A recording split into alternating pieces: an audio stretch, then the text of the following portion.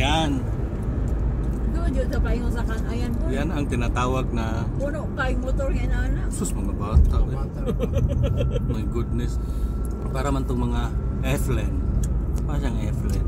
Hmm. yan. Oh! Ganahan kay mga bata sa kay anak. Ako gusto gusto ko yung sumakay ng ganyan. Ewan ko ba? Pero gusto gusto ko talaga. Ayaw niya.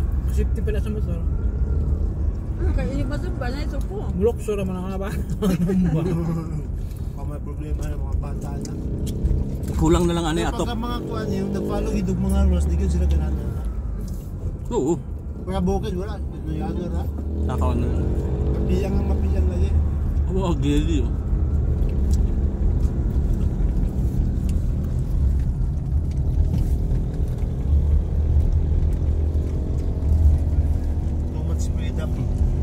呵呵呵呵呵呵呵呵呵